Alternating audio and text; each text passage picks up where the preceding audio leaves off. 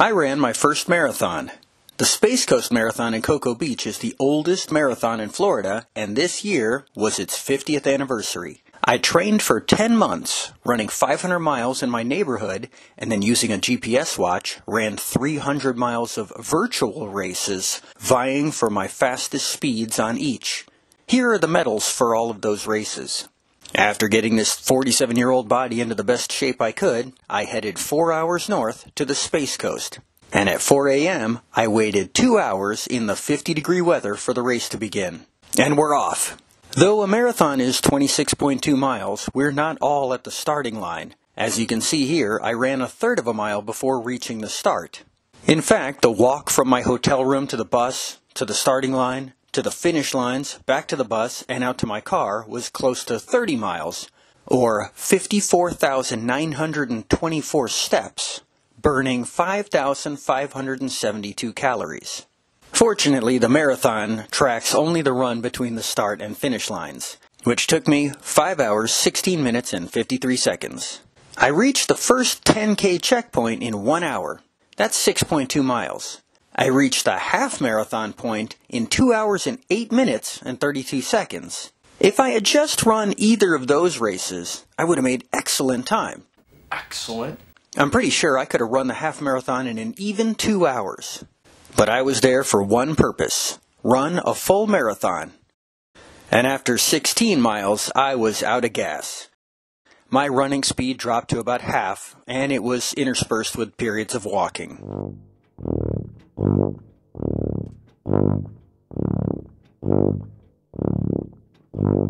With another year of training, I could definitely run the same race next year in under four and a half hours. But that's not my plan. This was enough for me, for now.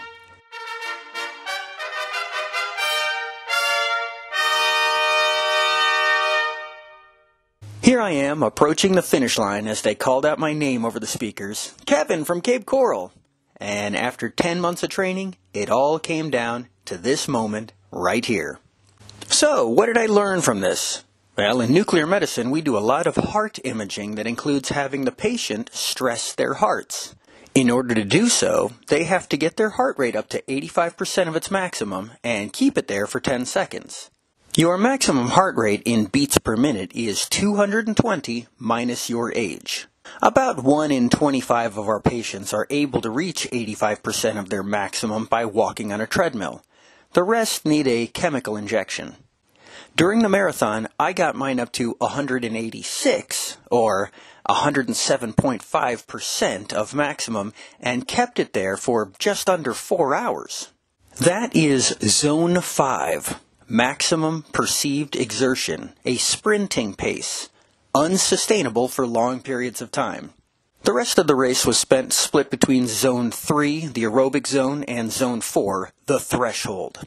Overall, this kept my heart rate at an average of 161 beats per minute, or 93% of my maximum for five and a quarter hours. So, what is a normal heart rate at rest? Well, it's between 60 and 100 beats per minute, with the lower the number, the better. Mine is 49 beats per minute. This chart shows that at any age, that number is only achievable in the athlete category. The other number here is the training effect, TE, with mine being a 5, classified as overreaching.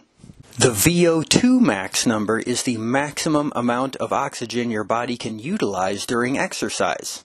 During the race, mine was 47, eh, the same as my age.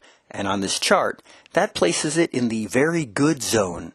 If I can get it up to a 49, it will be in the excellent zone. Excellent. Another thing I learned was that people of all shapes, sizes, and ages did much better and much worse than me, but we all did it and pushed ourselves as much as we could. Here are 11 other people you may know that have run marathons. Shia LaBeouf in 4 hours 35 minutes 31 seconds. Mario Lopez in 4 hours 23 minutes and 29 seconds. Now he is the same age, height, and weight as me, but I don't know what age he was when he ran. Kevin Hart in 4 hours, 5 minutes, and 6 seconds. Sean Astin in 4 hours and 4 minutes. Will Ferrell in 3 hours, 56 minutes, and 12 seconds. Ryan Reynolds in 3 hours, 50 minutes, and 22 seconds.